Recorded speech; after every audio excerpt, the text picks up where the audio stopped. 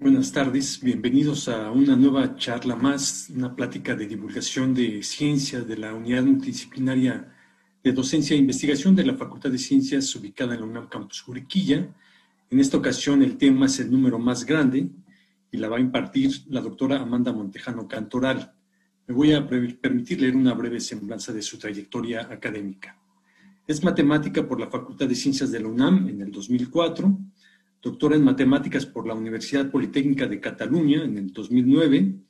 En 2009 obtiene el premio Sofía Kovalenskaya, otorgado por la Sociedad Matemática Mexicana. En ese mismo año regresa a México para realizar una estancia postdoctoral en el Centro de Física, Física Aplicada y Tecnología Avanzada, aquí en una campus Juriquilla. Dos años después se incorpora a la Unidad Multidisciplinaria de Docencia e Investigación de la Facultad de Ciencias en la Campus Juriquilla, en donde es actualmente profesora titular A de tiempo completo. Recientemente, en el 2018, realizó una estancia sabática en la Universidad de Simon Fraser, en Canadá. Es miembro del Sistema Nacional de Investigadores desde el 2011 su área de investigación se ubica dentro de las matemáticas discretas, especializándose en el estudio de coloraciones, de estructuras combinatorias. Actualmente participa en distintos proyectos de investigación, colaborando con diferentes grupos tanto en México como en el extranjero. Además de su compromiso con la actividad docente, la investigación y la formación de recursos humanos, es de notarse que su compromiso con la, divulgación y la descentralización de las matemáticas. Con ese objetivo, ha organizado cerca de 30 encuentros académicos, escuelas, talleres, congresos, seminarios, etc. Fue finalista en el concurso internacional de divulgación de la ciencia Rui Pérez Tamayo con la obra Matemáticas de Colores, que será publicada próximamente por el Fondo de Cultura Económica. Les dejo con la doctora Amanda Montejano Cantoral. Muchas gracias, Juan. Este, qué gusto saludarte a ti, Arturo. Gracias a los organizadores y bueno, pues vamos a comenzar eh, la charla. Eh, estoy aquí para hablarles de, matemáticas. Como ya escucharon, pues soy eh, matemática de profesión y soy matemática de pasión también. Entonces, mi objetivo es mostrarles la belleza de las matemáticas a través de esta historia que les voy a contar para, para iniciar, le puse a la charla este título así un poco provocador porque, pues, este, espero que todos en la audiencia eh, sepan que el número más grande, pues, no existe, ¿verdad? Pero bueno, este es mi pretexto para platicarles acerca de las matemáticas que yo hago como investigadora. Vamos a eh, a comenzar entonces, a ver cómo hago esto. Ay, no, ¿qué pasa? Ahí. Este, vamos a comenzar. Ah, bueno, entonces ya. Perdón, me, como que se me borró aquí la pantalla. Ah, es que me salió la pestaña, perdón. Ok, pues esta historia comienza hace algún tiempo ya. Eh, no sé si recuerden o algunos de ustedes recuerden, con una frase que se popularizó este, por una película comercial que decía, te quiero 3000. Entonces, en mi familia, en mi casa, comienza esta tonta y cursi batalla a la hora de dormir de buenas noches, te quiero 3000, buenas noches, te quiero 5000, buenas noches, te quiero 10000, 100000, un millón y entonces así vamos. Hasta que mi hijo grande le dice al chiquito, pues yo te quiero Googleplex. Híjole, ¿no? Entonces, el, chiquito me, otra vez, ahí está, me pregunta, oye mamá, ¿cuál es el número más grande? Y como ya dijimos, esto es absurdo, es una pregunta absurda porque no existe el número más grande.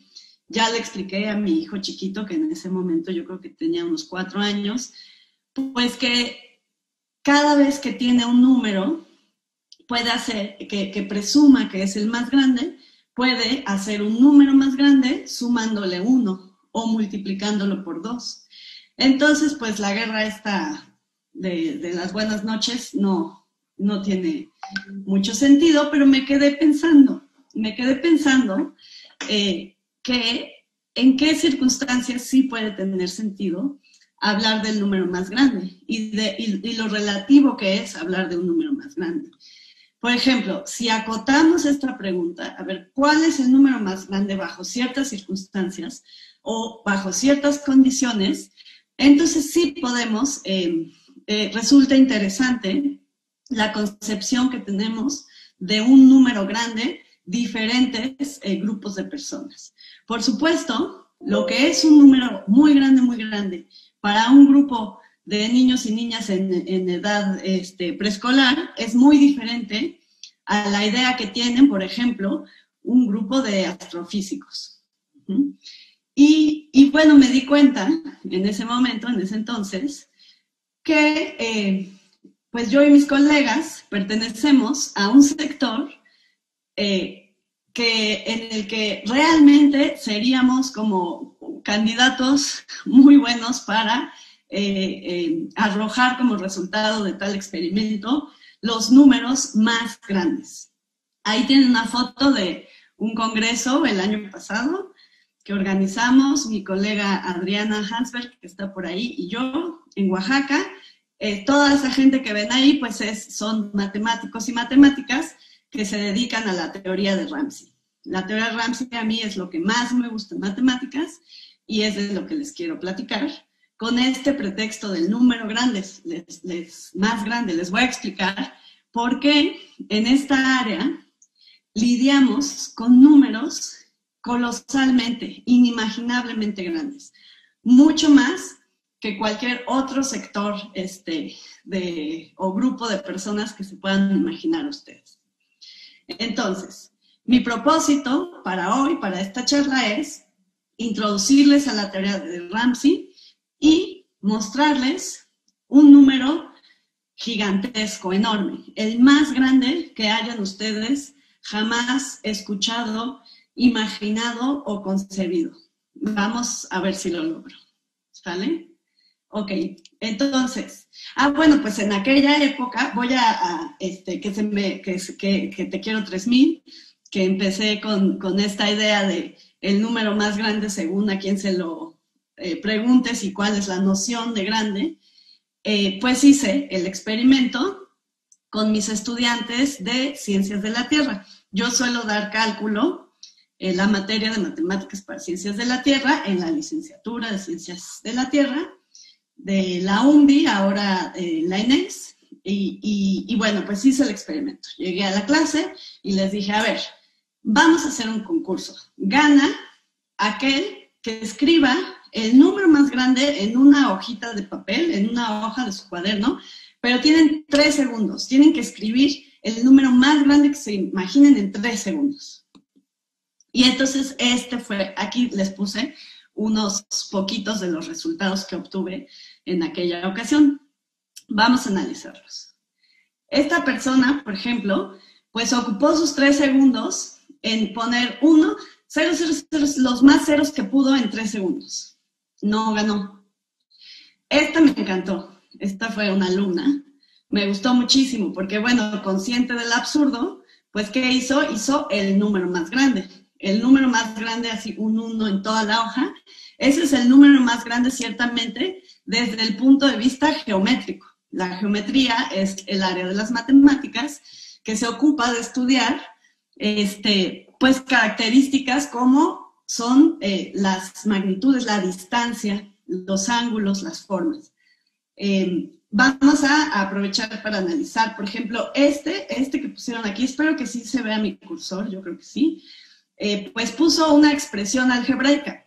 El álgebra nos sirve para manipular, este, es un lenguaje que hemos construido dentro de las matemáticas, eh, que ha sido muy poderoso y muy potente y en el cual eh, establecemos o le ponemos letras a ciertas, a, magnitudes variables o a, este, pues sí, a, números que no queremos identificar de manera concreta, que queremos que estén cambiando o variando o que dependan uno de la otra. Entonces, esto, pues este tampoco ganó porque eso no es un número, esa es una expresión algebraica y el día de hoy no voy a hablar de álgebra. Aquí, por ejemplo, aquí que eh, esta persona, pues que puso un, el símbolo de infinito. Pero infinito, como ustedes ya saben, no es un número. O bueno, quizás no sepa, quizás los, mis alumnos que estén eh, por ahí, si es que están en la audiencia, el infinito no es un número, es un concepto. Es el concepto, es de, eh, límite, es a dónde, a dónde voy a llegar si me quedo sumando uno toda la eternidad, infinitamente. Entonces, eh, eh, mis alumnos, si están aquí, ya saben que precisamente el dominio del infinito y del concepto del límite, la capacidad que hemos tenido de formalizar y de, y de llevar a, a, lo, este, pues sí, a lo formal, este, esta comprensión de lo que es el infinito y de lo que son los límites, pues es el origen del análisis matemático o bien del, cálculo diferencial e integral, del cual tampoco voy a hablar el día de hoy. Las matemáticas, como pueden ver, entonces tienen muchísimas áreas. Este, aquí mencioné algunas con el pretexto de, de, esta, de este ejemplo. No, no voy a mencionar todas, voy a mencionar nada más que ya se dijo en la semblanza que mi área de investigación es la combinatoria o las matemáticas discretas. Entonces, en vez de, eh, ay, se va a meter un gato a mi casa, camino. Híjole, y yo soy alérgica a los gatos. ¡Qué horror! bueno, Camino, ¿puedes cerrar la puerta? Perdón, perdón. Ok, entonces, ¿en qué estábamos? Bueno, no les voy a dar una definición de lo que es la combinatoria o las matemáticas discretas o cómo se ubica dentro del mundo de las matemáticas, pero les voy a recomendar un video que está en internet, este, que es como un, un videito así con infografía que me gustan mucho en este canal y que explica el mapa de las matemáticas, un poco como el universo de las matemáticas, qué estudiamos, cómo es ese mundo. Eh, eh, aquí me interesa eh, resaltar que esencialmente, o digamos, en, en, un sentido podemos dividir a las matemáticas en dos grandes, grandes áreas, que son las matemáticas puras, que están de este lado, y las matemáticas aplicadas, que están desde este otro. Yo me dedico a las matemáticas puras, no hago matemáticas aplicadas, hago matemáticas puras. En ese video también se explica muy bien la, la importancia y la necesidad del desarrollo y de la existencia de ambas este, de ambas partes, de las matemáticas puras, de las matemáticas aplicadas, y cómo éstas se retroalimentan. en, las, en las matemáticas puras, este, bueno, las matemáticas aplicadas que hacen, pues intentan ayudar al, a nuestro bienestar o al progreso de la humanidad o a respetar el medio ambiente o a, este, vamos, está en contacto con la realidad, este, con la realidad física, con la realidad química, biológica, etc. Y, las preguntas, pues son, este, muchas veces surgen de problemáticas que eh, vamos encontrando y que queremos resolver en el mundo real. En las matemáticas, este, hacemos lo mismo, resolvemos problemas, investigamos, exploramos, pero no en el mundo real lo hacemos en el mundo de las matemáticas. Las matemáticas, ustedes imaginen que es todo un mundo, un universo, con sus valles, sus lagos, sus mares, sus montañas. Y hay muchísimos seres, personajes, interacciones que se relacionan de, maneras eh, fascinantes y que a nosotros los matemáticos nos gusta entender y estamos ahí indagando y queriendo entender este, bueno, claro, esta es mi idea eh, platónica de lo que son las matemáticas.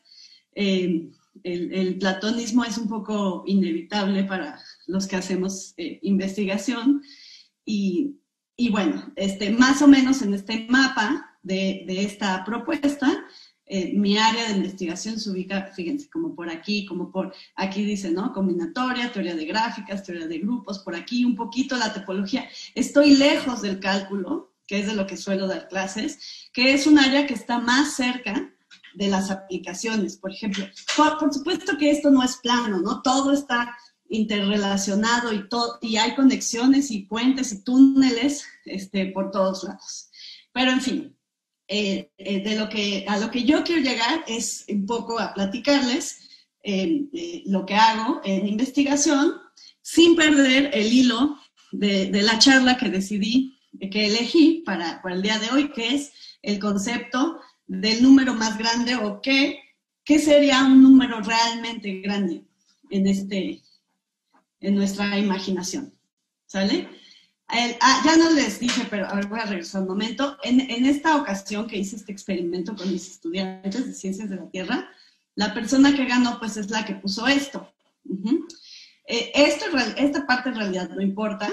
Lo que importa es esta, este exponente. Puso un número y, lo, y luego colocó un exponente. Entonces, esta persona conocía pues la notación científica y en particular esta función exponencial y eso fue lo que hizo que, eh, que tuviera el número más grande.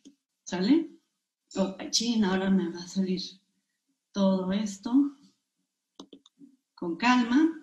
Entonces vamos a revisar este, esto de la notación científica, de, sobre todo este, la función exponencial con base 10, porque además en estos tiempos de pandemia y de epidemias y de crecimiento exponencial, este, pues me parece pertinente hablar de, de, de, las funciones exponenciales y de cómo somos, y mejor dicho, de qué tan incapaces somos de percibir o sentir lo que realmente significa un crecimiento exponencial.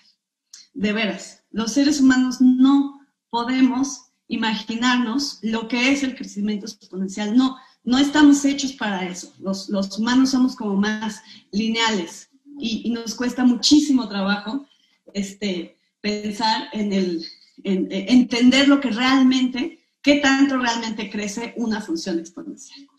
Entonces, fíjense, nuestro sistema numérico está en base 10, eso quiere decir que tenemos 10 símbolos y que este, manejamos eh, los números a través de las unidades, las decenas, las centenas, los millares, etcétera, etcétera, etcétera, que son precisamente las potencias de 10, ¿no? Las unidades son 10 a la 0, las, las, las decenas son múltiplos de 10 elevado al exponente 1, que es 10, 10 al cuadrado es 100, 10 al cubo es 1000, que son los millares. Fíjense que el exponente me indica cuántos ceros debo de colocar después del 1. Y para, para números chiquitos como estos, pues más o menos sí tenemos una noción de hacernos una idea de cuánto es eso. Vamos a decir que un número o una cantidad es del orden de 10 si tiene entre 1 y 10 elementos. Luego, un orden es, digo, un número o un conjunto tiene cardinalidad del orden de 100 si está entre 10 y 100, cardinal, del orden de 1000 si está entre 100 y 1000, así. Entonces, por ejemplo, aquí puse un dibujo de la UNDI y pueden ver que es sencillo. Por ejemplo, conjuntos del orden de 10, pues son este, eh, los, el número de, de escudos, el número de de estos focos que hay aquí arriba. El número inclusive de ventanas es del orden de 10. Del orden de 100 nos cuesta un poquito más de trabajo, pero todavía podemos. A ver, vamos a buscar un conjunto del orden de 100. Por ejemplo, aquí las letras. Aquí ustedes no alcanzan a ver, pero aquí dice Unidad Multidisciplinaria de Docencia e Investigación, Facultad de Ciencias, Juriquilla. No sé cuántas letras sean exactamente, pero son como del orden de 10, de 100, perdón. Para el orden de 1000, ya, ya nos empezamos a perder. Y somos muy malos para calcular órdenes, pues relativamente ni siquiera tan grandes. Por ejemplo, ¿cuántos pastitos habrá aquí? ¿Del orden de cuánto? Ya somos muy malos calculando. Para hacernos una idea más concreta, les puse yo aquí unos dibujitos. Aquí puse 100 puntitos, que son y ustedes imagínense, aquí ya sé que depende de la pantalla de cada quien, pero imagínense que esto es como un centímetro cuadrado y ahí hay 100 puntitos, 10 por 10. Para representar mil píxeles, digamos, pues tenemos que colocar este cuadradito 10 veces hacia lo largo. Eso es 10 al cubo. Para 10 a la cuarta, que son 10.000, pues ya tenemos un rectangulito de 10 centímetros cuadrados y nos imaginamos ahí llenos, llenos de, puntitos. Y, y, bueno, pues sí, tenemos la idea. Por ejemplo, un millón sería, si lo piensan, un metro cuadrado de puntitos, ¿sale? Pero, ¿qué tanto es un millón realmente? Ah, cuando hablamos de millones, casi siempre este, empezamos a pensar en el dinero. Muy mal, eso está muy mal. Hay que pensar en otra cosa. Eh, del orden de un millón, por ejemplo, del metro cuadrado, es el número de, cabellos que tenemos en, los, seres humanos. No solo el pelo del, cuero cabelludo, sino todos los pequeños este, vellitos que tenemos así en toda la piel.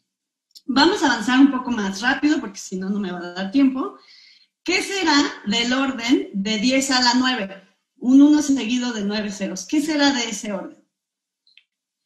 Pues yo les digo, de ese orden es el número de segundos que tiene un siglo. Un siglo tiene del orden de 10 a la 9 segundos.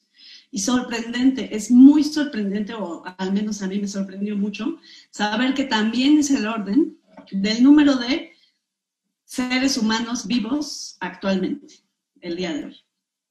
Sorprende. Entonces, bueno, ya que les puse aquí eh, la arena, vamos a, intentar ir más lejos. ¿Cuántos granos de arena creen del orden de, obviamente no podemos saber exacto, pero, pero se pueden hacer estimaciones, del orden de cuántos granitos de arena hay en el planeta Tierra? O nos podemos ir también a lo micro. Ve, eh, imagínense un mini, mini, mini granito de arena y piensen en cuántos átomos hay en ese granito de arena. ¿Cuántos átomos habrá en un granito de arena? Pues resulta que esas cantidades son del mismo orden. Del orden de 10 a la 18 este, eh, granos de arena hay en el mundo y del orden del 10 a la 18 átomos tiene cada grano de arena. ¿sale? Entonces, bueno, ya vamos teniendo una noción, pero lo que yo quiero enfatizar es que no, no somos buenos, no somos animales aptos para comprender el crecimiento de la función exponencial, se nos, se nos va la onda. Nos vamos siempre con la idea del crecimiento lineal, como, como tenemos en el exponente. Como que, como que siempre pensamos, ah, bueno, pues 10 a la 4, 10 a la 5, 10 a la 9, 10 a la 18, pues 18 es el doble de 9, pero se nos olvida que esto no es una función lineal, es una función exponencial. Entonces, vean el salto que hay de aquí a acá. El salto que hay de, de entre el número de granos de arena entre el número de seres humanos. Es brutal, pero aún así, insisto en que no tenemos idea de cómo crece esta función. Eh, les voy a pedir que se imaginen, ahora sí, abróchense los cinturones. Este, ah, bueno, el Google, que era lo que le dijo mi hijo grande a mi hijo chiquito, que le dijo, ah, Google Plex. Para decirles que es un Google Plex, les tengo que decir que es un Google. Un Google se le ocurrió a un señor, no me sé muy bien la historia, pero un Google está definido como 10 a la 100. Entonces, para darnos una idea de qué es un Google, qué es 10 a la 100, les voy a pedir que se imaginen el número de átomos, de átomos, no solo en el planeta Tierra, sino en todo el sistema solar. ¿Pero por qué? ¿Por qué quedarnos ahí? Mejor imagínense el número de átomos en la galaxia. ¿Y por qué quedarnos ahí? Mejor ya imagínense el número de átomos en el universo, en el universo observable. No me vayan a preguntar, por favor, cómo es que se hacen esas estimaciones, pero es un consenso, lo pueden buscar, que el número de átomos en el universo es del orden de 10 a la 80. Cuando yo vi esto la primera vez dije, no, esto está mal. ¿Cómo tan poquitos átomos? No, es que lo que pasa es que se nos hacen poquitos porque estamos pensando lineal y no estamos entendiendo la potencia de la función exponencial. para entender la potencia de la función exponencial, mejor piensen que 10 al 80 es el número de átomos en el universo. Y no nos podemos imaginar el salto que hay de aquí al Google. Aquí les puse una descripción este, de lo que es un Google Plex, cómo lo pueden visualizar, pero como no tengo tiempo, me la voy a saltar y este, después si quieren pueden regresar y le ponen pausa y pueden leer ahí para este, imaginarse lo que es un Google. Pero bueno, pero piensen que un Google es mucho, mucho, muchísimo más que el número de átomos en el universo. Ahora, el Googleplex. ¿Qué es el Googleplex? El Googleplex es 10 elevado a la Google. O sea, un 1 seguido de Google ceros. Ya, ¿no? Entonces, bueno, me van a decir, uy, sí, yo eso ya lo conocía. Yo ya, yo ya, pues sí, ¿no? Eso fue lo que hizo mi hijo, googleó un número enorme y le salió Googleplex. Bueno, pues yo les digo que el número que les voy a presentar hoy es, deja a estos números en pañales, pero en pañales. O sea, pero no tienen idea a qué nivel dejan en pañales a estos eh, números. Este, disque muy grandes. Entonces, los números con los que trabajamos en teoría de Ramsey, que necesitamos, que son números concretos, no es el infinito, no es el límite, son números concretos que necesitamos para probar teoremas y para decir lo que queremos decir, son números inimaginable, colosalmente, no sé qué adjetivo usar, más grandes que estos, que este en particular. Entonces, vamos a hablar de la teoría de Ramsey. La teoría de Ramsey, pues, este, em, en ocasiones se describe como, aquí les puse las frases, como el estudio de la preservación de propiedades bajo particiones de conjuntos, entonces como que no se entiende. O también a veces se, define como el estudio de la existencia de estructuras monocromáticas en universos coloreados, ¿no? Como que, pues ya escucharon en la semblanza que yo hago matemáticas de colores. Entonces algo tiene que ver, pero no se entiende muy bien qué onda con eso de la teoría de Ramsey. Este, bueno, les quería mencionar que esta teoría debe su nombre, es una teoría muy joven, debe su nombre a este señor que, este, que se llamó eh, Frank Ramsey, que era un matemático, filósofo, economista británico, muy interesante, interesantísimo personaje del cual no puedo hablar hoy, que además vivió muy poco, como pueden ver. Este, sí, es, uno de mis personajes favoritos en la historia me encanta. Pero bueno, no vamos a hablar de él. Este artículo lo pueden encontrar en Internet libre. Este, es un poquito ya antiguo, es de 1990, en el Scientific American. Es un artículo de divulgación y explica lo que es la teoría de Ramsey. Yo creo que es un artículo muy bueno, se los recomiendo. Y aquí en, el, en este como pequeño resumen, los autores son eh, Ron Graham y Joel eh, Spencer que, son, que han sido dos grandes exponentes de la teoría de Ramsey en este siglo y en la mitad del siglo pasado.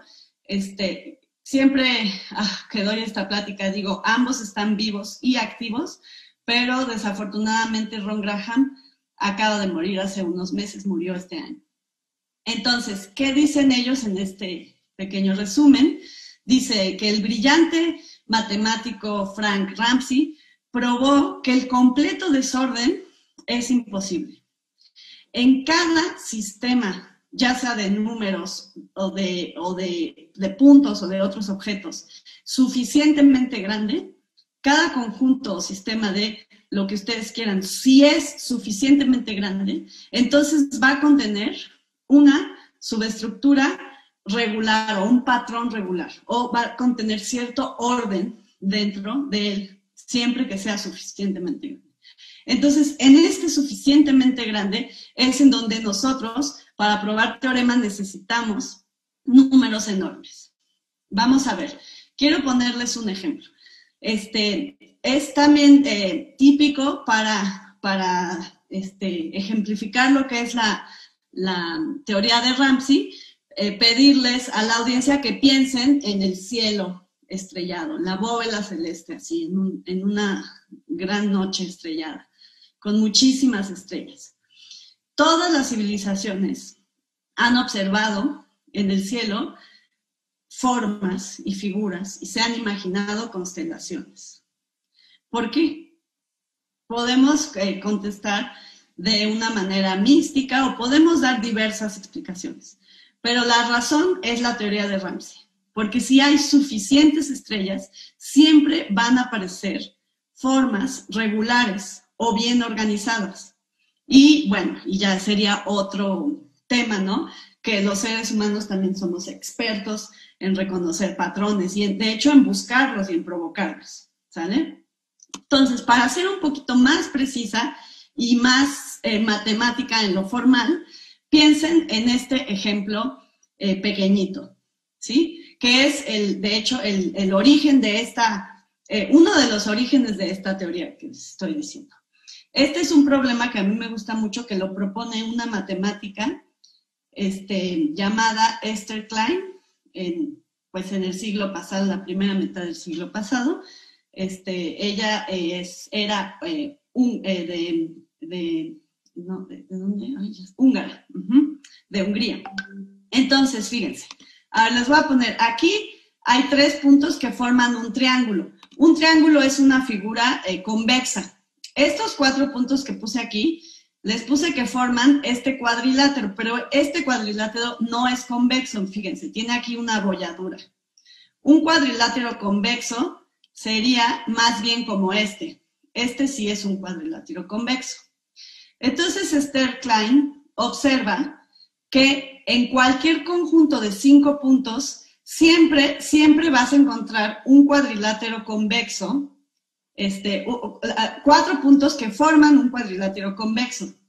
Esto probablemente no les sorprenda mucho si no están en el área. Aquí, aquí les puse en esencia las tres posibles configuraciones de cinco puntos en el plano. Pero bueno, más o menos les deja una idea de qué nos preguntamos los matemáticos, en qué estamos pensando, cómo, ajá, o sea, qué es lo que nos da curiosidad, qué es lo que nos interesa.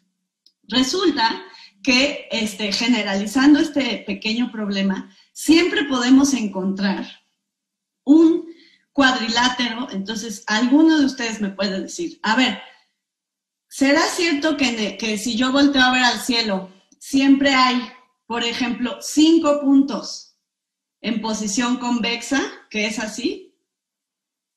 O o 10 puntos o 100 puntos en posición convexa. Yo quiero encontrar 100 puntos. Pues dice la teoría de Ramsey que sí, que si tienes suficientes estrellas, no importa cómo estén, siempre, siempre vas a encontrar, por ejemplo, 10 puntos en posición convexa. Esa forma convexa este, hecha por 10 puntos. Entonces, bueno, esto a, mí es, este, son resultados que me gustan muchísimo. Pero para eso necesitamos tener muchísimas estrellas, a lo mejor más de las que tenemos. Ok. Otra, otra idea eh, típica en, la teoría de Ramsey, recuerden, la filosofía es que tanto, este, si el universo es suficientemente grande, voy a encontrar cierto orden o cierta em, eh, regularidad en el sentido de organización. Entonces, este es otro ejemplo pequeñito que les voy a, platicar, que también se puede extrapolar o generalizar a, más grande. Por ejemplo, piensen ustedes en seis personas, un grupo de seis personas. Entonces, yo garantizo que en cualquier grupo de seis personas, agarren seis personas al azar las que quieran, siempre, siempre van a existir tres de ellas que se conozcan mutuamente o bien tres de ellas que no se conozcan mutuamente. Entonces, claro, si, por ejemplo, si agarro seis personas de aquí de la audiencia, es muy probable que es, muy fácil que tengamos seis personas que se conocen mutuamente. ¿Por qué? Pues porque seguramente son de la comunidad de la UNAM Juriquilla, ¿no? Entonces, bueno. Pero piensen que esto sucede para cualquier grupo de seis personas. ¿Cómo podemos saber esto. ¿Cómo lo podemos comprobar? Abstraemos la situación a una gráfica. Esto es una gráfica.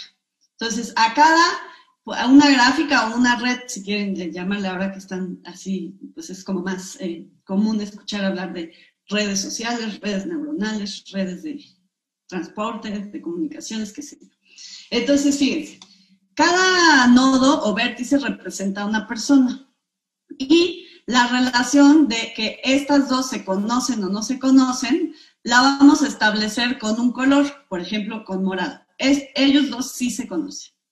Pero esta persona con esta no se conocen. Es el otro color. Verde es no se conocen. Y así nos vamos con todas las conexiones o relaciones entre estas personas. ¿Qué es lo que yo estoy diciendo? Que siempre existe, no importa cómo coloremos o asignemos dos colores a, a, las aristas o enlaces de esta gráfica, siempre, siempre, siempre va a aparecer un triángulo que sea monocromático, o, todo morado o todo verde. Aquí está, por ejemplo, estas tres personas se conocen entre sí. Ustedes pueden intentar hacer un, una coloración o colorear esto de cierta manera que no haya triángulos y verán que no van a poder. Los triángulos monocromáticos o bien del mismo color siempre, siempre aparecen. Aparecen de manera inevitable a partir del número 6. Con el número 5 no, no sucede ese. 5 es muy pequeño, no sucede. A partir de 6, la regularidad o el orden, que en este caso sería el triángulo monocromático, emerge de manera inevitable. Ok. Entonces, estos son los dos ejemplos que, que, que, bueno, que decidí ponerles como para explicar de qué se trata la teoría de Ramsey. Lo que quiero que se queden, o sea, los problemas pueden tener, acuérdense que los matemáticos buscamos curiosidades en el mundo de las matemáticas y nos estamos preguntando cosas que nos parecen interesantes o bellas o que nos dan muchísima curiosidad. Entonces, en general, los problemas de tipo Ramsey lo que dicen es eso, es elijo un universo matemático, un paisaje, ¿no? Un, jardín en las matemáticas. Y quiero preguntarme, y elijo algo que me parezca interesante, que sea este, ordenado o regular o bonito o lo que yo quiera. Entonces digo, ¿qué tan grande debe de ser mi jardín para garantizar la existencia de esto que me gusta muchísimo? Pues resulta que podemos demostrar que con un universo, objeto, conjunto, como le quieran llamar, suficientemente grande, podemos garantizar lo que, lo que elegimos. No siempre se puede, a veces se puede, a veces no se puede. La, teoría de Ramsey es encontrar este, eh, los casos en los que sí. Entonces aquí esto se puede complicar mucho, tan solo con las conexiones estas entre personas este, y, una relación binaria, o sea, rojo o azul, este, pues empieza eh, eh, a ponerse muy interesante. Y el número más grande que pasó, que yo les prometí que les iba a decir, un número, eh, el más grande que hayan jamás visto, jamás o escuchado hablar o imaginado, este, y ya me puse el, el, este, el, el listón bien alto, ¿no? Porque ya les presenté aquí al Google Plex, que sí está impresionante. A ver, este, fíjense, el Google, en realidad, ¿Qué es 10 a la 100? Pues es 10 a la 10 a la 10. Y, es, y fue un candidato buenísimo. El Google Plex, este, si lo piensan, en realidad lo que es es 10 a la 10 a la 10 a la 10. Entonces, fíjense, lo que encontramos fue una función mucho más poderosa o que crece mucho más rápido que la función exponencial. Y eso es lo que nos impresiona del Google Plex acuérdense de, que le hice el concurso a mis estudiantes. Sí, él, fue el que ganó y, esta persona, este, no, esta persona gastó sus tres segundos en poner los más ceros que pudo y de hecho puso más. Pero esta persona tuvo la idea de poner un exponente. Si, si, a, si a esta persona se le hubiera ocurrido poner todos estos ceros que fue capaz de poner pero así en torre, 10 a la 10 a la 10 a la 10 a la 10, en el tiempo que le diera, le hubiera ganado de calle. Entonces, de lo que se trata es de diseñar, construir, inventar o descubrir funciones cada vez más locas y más potentes en el sentido de eh, cómo crecen. ¿Sale? Entonces, este, el número que yo les quiero platicar, que yo les quiero decir, este, eh, presentar, el número más grande, que es eh, un número así famosillo en el área. Yo sé que es una tontería, pero bueno, pues no, o sea, así es, ¿no? En los 70 pues la teoría de Ramsey empieza a explotar, se empieza a hacer mucha investigación al respecto. Como ya les dije, es una teoría muy joven. Este, y, y bueno, ¿no? empiezan eh, los matemáticos y las matemáticas a lidiar con estos problemas y a requerir este, eh, cardinalidades o, o sea, números concretos muy grandes, muy grandes para probar la existencia de sus objetos favoritos. Y, este, y, aquí, y aquí está otra vez Ron Graham, que era un matemático también interesantísimo, un personaje este, muy interesante. Entonces, él estaba interesado en eh, bicoloración, o sea, dos coloraciones del hipercubo. O sea, él lo que le estaba en el jardín de las matemáticas de los hipercubos, o sea, cubos de muchas dimensiones.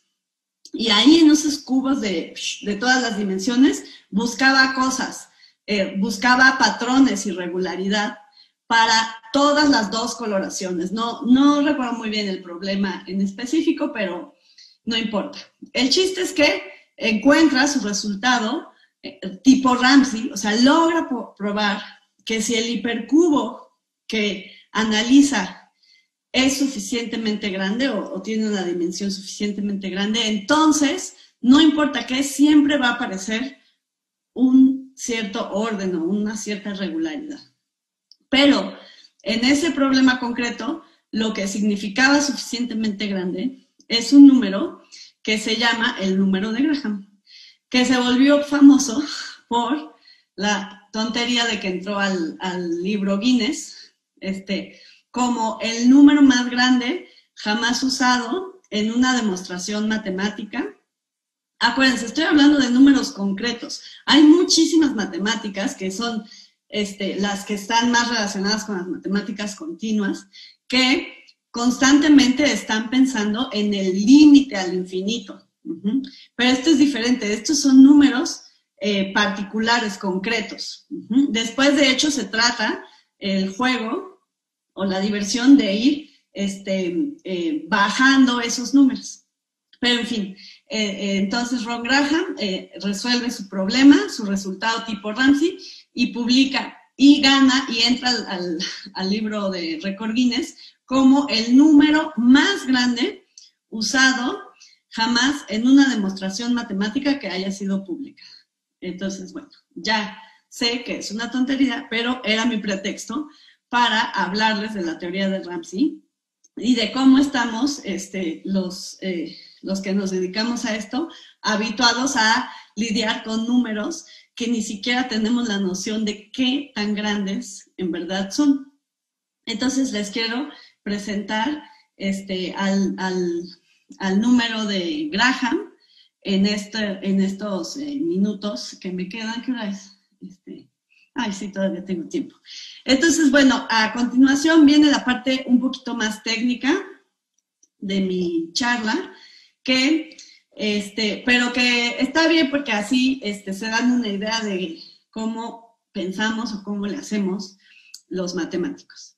Y además viene bien porque si por ahí están mis alumnos de cálculo, pues justamente la semana pasada acabamos de ver la composición de funciones.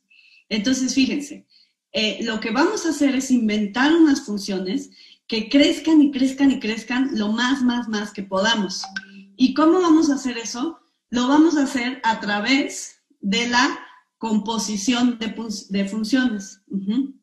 Entonces, bueno, este, Aquí, eh, a ver, vamos a avanzar. Voy a definir una familia de funciones este, con la siguiente regla. Entonces, ¿qué, tenemos que hacer siempre? Pues ponernos como que organizarnos con la notación o con los nombres de, de lo que le vamos a decir a las funciones. Para denotarla, si yo tengo una función f, para denotar la concatenación de n veces la f, o sea, f de f de f de f de f n veces, eso lo voy a denotar con este simbolito. Y luego, voy a ir definiendo. F1 va a ser simplemente haz el doble, haz el doble. Esta función es una función lineal y es de las que más estamos acostumbrados nosotros los seres humanos en la vida. Y después, esto se llama una función recursiva. Es decir, una vez que yo ya sepa quién es la F1, voy a definir a la F2. Y una vez que yo ya sepa quién es la F2, voy a definir a la F3. Y una vez que yo ya sepa quién es la F3, voy a definir a la F4. Y así, y así, y así. La definición formal está aquí escrita, pero prefiero darles un ejemplo. A ver, este, esto me lo voy a saltar. Eh, ahí está como explicada esta definición. A ver, bueno, si quieren, este, no, prefiero, sí prefiero darles el ejemplo. Si no los voy a perder. Aquí tengo entonces, aquí está como eh, la magia, ¿no? Vamos a inventar unas funciones que crezcan muchísimo porque es lo que necesitamos. fue lo que necesitó Ron Graham, pero él no las inventó, estas las inventaron desde antes, en el origen de la teoría de Ramsey. Entonces, fíjense, aquí les puse una tabla con, uno, con los ejemplos de la F1, de la F2, de la F3, de la F4. Entonces, estas es como las tablitas que hacemos en la clase de cálculo. Aquí vamos a, aquí puse los valores de K. Aquí la K va a valer 1, aquí va a valer 2, aquí 3 y aquí 4. Entonces aquí yo tengo que poner cuánto vale la función si la evalúo en 1. Pues vale 2 porque la función eh, este, primera es, es este, el doble, duplica, duplica, duplica. Si la evalúo en 2, duplica, ¿qué me da? Me da 4. Si la evalúo en 3, ¿Qué me dice mi función? Duplica, me da 6. En 4, duplica, me da 8. Entonces, esta función es una función lineal que ya conocemos muy bien y le voy a llamar el doble de k. Ahora, la siguiente función en mi familia de funciones o categoría de, funciones o este, secuencia, no sé cómo quieran, la siguiente función también es una función que me tomé el tiempo de explicar al inicio de esta plática. Voy a poner todo esto. Esta es la función exponencial. ¿Qué me dice? Para k igual a 1 me dice 2. Para k, este, para k igual a 2 me dice 2 a la 2. Para k igual a, o sea, este sería 2 a la 1 igual a 2. 2 a la 2, 4. 2 elevado a la tercera potencia, 8. 2 elevado a la cuarta potencia, 16. Esta es la función exponencial que ya sabemos, que ya conocemos, pero con base 2. Al inicio de la plática hicimos un análisis, pero con base 10. Bueno, la, base no importa. Lo que importa del crecimiento es la forma de la función, que en este caso es exponencial. La función exponencial crece brutalmente, igual que este, con base 2 que con base 10. La siguiente función va a ser la función que, observamos que fue la gran idea en esto del Google y del Googleplex, que fue, en vez de utilizar solo la función exponencial, ¿por qué no haces exponencial, exponencial, exponencial? Y haces una torre de, de exponenciales. Les voy a poner aquí los ejemplos. A esta le vamos a llamar la función torre. Entonces, torre de 2 de altura 1 pues es 2. Torre de 2, de altura 2, pues es 2 a la 2, 4. Una torre con altura 3, 3 pisos, 2 a la 2 a la 2, eso es 16. Para el valor k igual a 4, mi torre, ya aquí, estos números están bien chiquitos, ¿no? Aquí esto que esto, nada que ver. Este ya, este, ya empezamos a ver, órale, 2, este, eh, con eh, altura 4, en mi función torre, pues ya me da 65.500. Pero, ay, de todos modos, ¿qué? 65.000 y pico, ¿eso qué? No, yo, yo les prometí enseñar un número enorme y ahora sí se me están acabando los, los minutos. Entonces, fíjense, este, lo, que, lo que hicimos para pasar de la doble a la exponencial fue componer la doble. Doble, doble, doble. Eso es la exponencial. Para pasar de la exponencial a la, a la torre, lo que hicimos fue componer la exponencial. Para, entonces vamos a ver la siguiente. La siguiente se va a llamar wow. Entonces, wow de 1 es 2. Wow de 2 es componer la anterior. Es nada de wow, es 4. Wow de 3, pues es esta de acá. Es una torre de lo anterior, o sea, es una torre de 4. Porque estoy componiendo, componiendo. ¿Quién sería wow de 4? Wow de 4 ya no lo puse aquí. Wow de 4 es 2 a la 2 a la 2 es una torre, que es la anterior, pero de longitud lo que me dice aquí. Entonces, 65 mil y pico de 12 eh, en torre. Eso ya le gana al Googleplex, pero de una manera que, wow, de 4. Y ahora sí, ya para concluir, a estas funciones se les conoce en la literatura como las funciones de Ackermann, son bastante antiguas, este, en el nacimiento de la teoría de Ramsey, y, este, y son muy útiles, este, siempre se han usado para este tipo de problemas. Y este, aquí le copié la otra tablita, aquí lo que iría sería el wow de 4, que es la torre de 65 mil y pico de pisos que, que, ya dejó al Googleplex en, en, en, en, en pañales. Y, que, y, bueno, ¿y quién es el número de Graham? ¿Qué número tuvo que usar Graham para entrar al, libro Guinness? Este, por supuesto que, ya repito, esto ya es absurdo, porque si se trata de, a ver, ¿quién dice un número más grande? Pues una vez que tienes el conocimiento, una vez que ya se amplió el conocimiento, cuando nada más conocíamos esto, ¿no? En edad preescolar, pues el número más grande no era, pues era de este nivel. Cuando conocíamos la función exponencial, el número más grande era de este nivel, ¿no? Como, como los mis alumnos, ¿no? Que ganan con la notación científica. Pero una vez que ya explotamos y rompemos esto inventamos estas eh, este, eh, funciones, vuelve a resultar absurdo jugar a ver el número más grande. Lo que es interesante es cómo expandimos el universo matemático realmente para eh, eh, inventar funciones que crecen eh, de una manera, pues eso, inimaginable. La función de Ackermann se define como, la, como esta diagonal. La función de Ackermann nivel 1 es esta. La función de Ackermann nivel 2 es esta. La, la 3 es esta. La 4 es esta, wow de 4. La 5 es la siguiente que iré aquí, o sea, sería el Ackermann 5 es f de 5 evaluada en 5. ¿Qué quiere decir? Compón la anterior, pero con el número de arriba.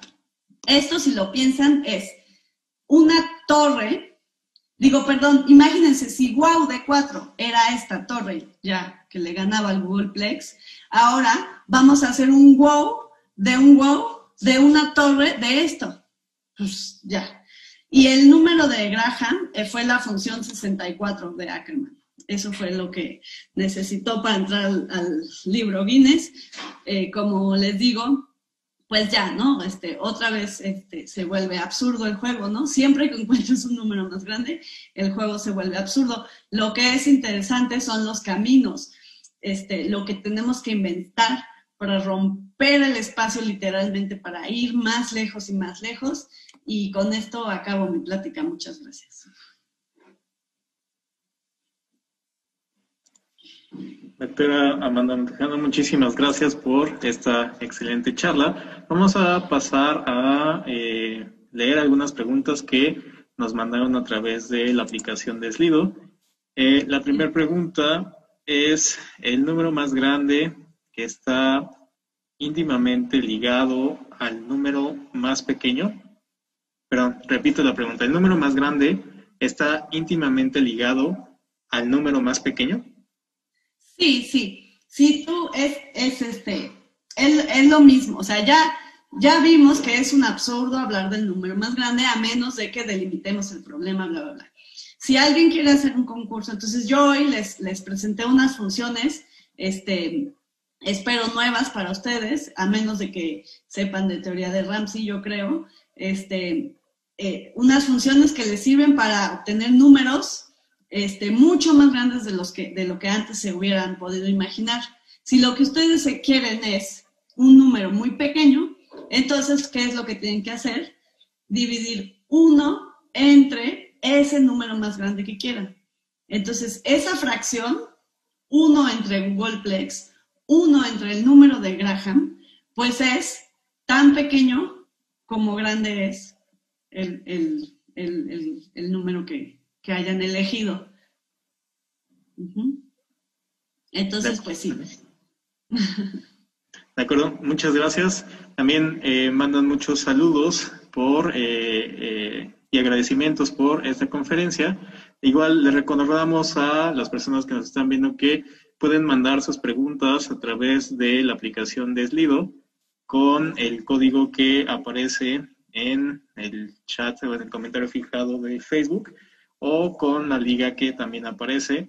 El código es UMDI P de Plática Ciencia 11. Y la segunda pregunta que tenemos por aquí es eh, cómo descubrió esto Ramsey.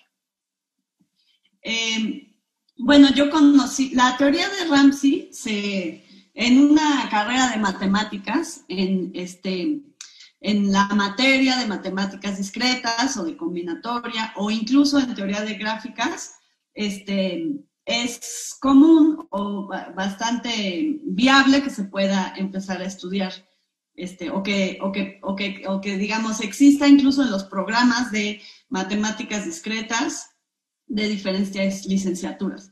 Pero, sin embargo, pues sí, se ve, este, se ve muy, este, de manera muy parcial. Yo la conocí entonces a la teoría de Ramsey en la, en la licenciatura pero no me enamoré sino hasta que me fui a hacer el doctorado y ahí fue donde eh, ya empecé a profundizar eh, más en la teoría de Ramsey. pues ya tiene, ¿cuántos años? Unos 15 años.